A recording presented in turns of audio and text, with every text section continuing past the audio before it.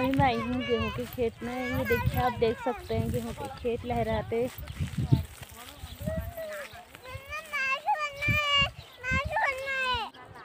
Hello guys good evening welcome back my new blog कैसे हो आप लोग? होप सब मस्त होंगे। मैं भी एकदम मस्त हूँ। अभी मैं आई हूँ खेत में मम्मी के साथ घूमने के लिए।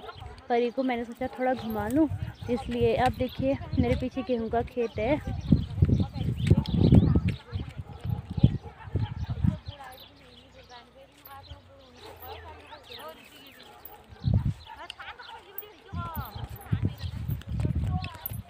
देखिए जो ऊपर वाला टावर दिख रहा है, वो बी का टावर है और ये एयरटेल का टावर है?